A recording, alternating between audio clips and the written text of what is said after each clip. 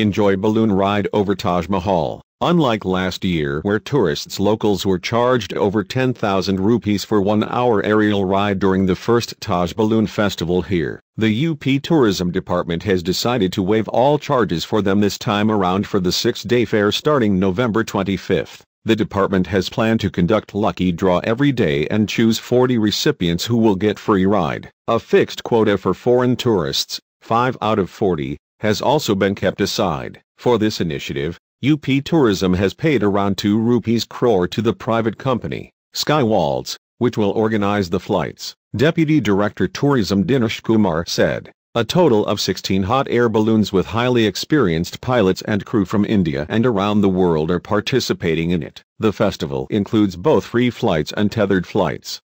A total of 12 countries are participating. There will be balloonists from the US, UK, Spain, Germany, UAE and India among others piloting the flights. Kumar added that locals tourists would have to fill a form and submit at the tourism office. Lucky draw would be conducted every evening a day before the flights and winners would be informed to be present at the takeoff site. Samit Garg, founder and CEO of Skywaltz, said, this year the festival is being organized at a much grander scale. The number of days has been doubled from three to six days this year.